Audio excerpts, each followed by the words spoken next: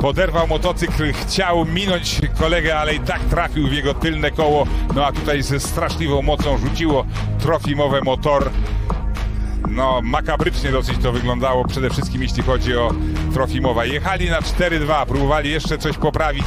Próbował przede wszystkim Jakub Jamruk, no i tutaj spowodowało to wszystko bardzo niebezpieczną sytuację dla Wikiem Wybrzeża Gdańsk. Stanie z ogromną prędkością. Pada na tor Wiktor Trofimow. Trofimow.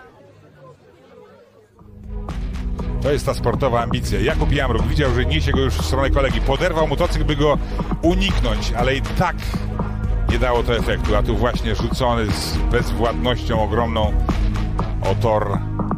Zawodnik, który dzisiaj jechał kapitalne zawody. Wiktor Trofimow odblokował się, odbudował się psychicznie.